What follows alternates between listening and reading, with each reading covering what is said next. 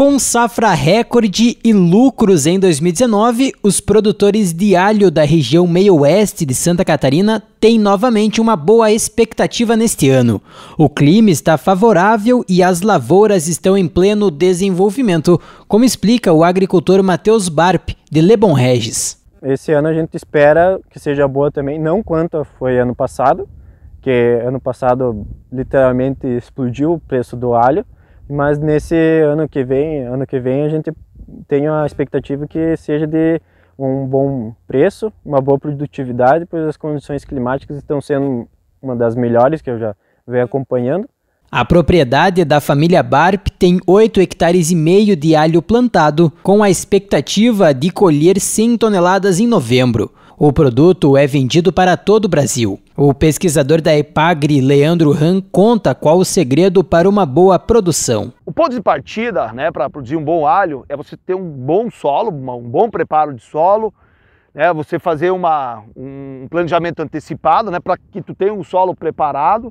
O segundo segredo que, a gente considera fundamental é a qualidade da semente. Não tem nenhuma outra cultura que, ela, que o rendimento final está tão fortemente ligado a semente quanto é o alho. E aí depois, aí depois sim, todo, todos os aspectos de manejo da lavoura, né, mas que vão ser reflexos, acima de tudo, da qualidade do teu solo, do teu preparo, da tua adubação e da qualidade da semente. Em propriedades parceiras, como o da família Barp, a Epagre desenvolve experimentos técnicos que auxiliam na qualidade e produtividade das lavouras de alho.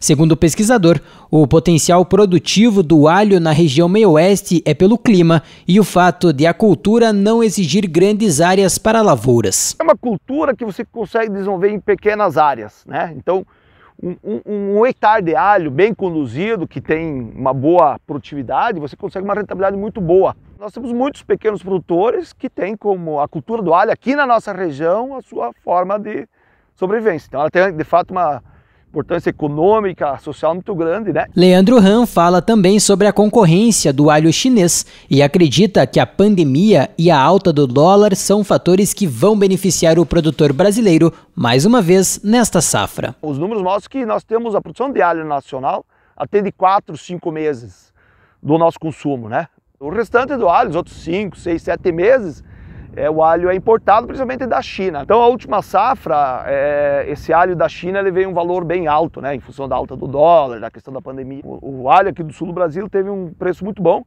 e a expectativa é, é, bastante boa também esse ano, né? Talvez não tanto quanto o ano passado, né?